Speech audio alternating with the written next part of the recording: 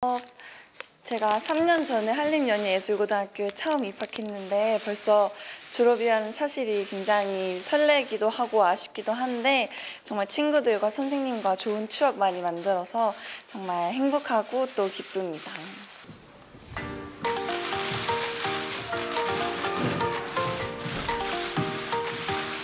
자, 왼쪽부터 볼게요. 자, 손인사 부탁드립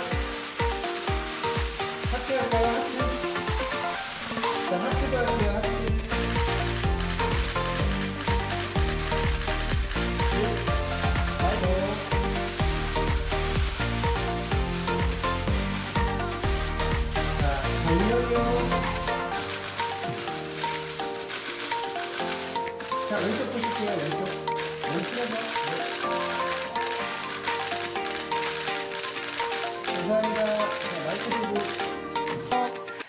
제가 3년 전에 한림연예예술고등학교에 처음 입학했는데 벌써 졸업이라는 사실이 굉장히 설레기도 하고 아쉽기도 한데 정말 친구들과 선생님과 좋은 추억 많이 만들어서 정말 행복하고 또 기쁩니다.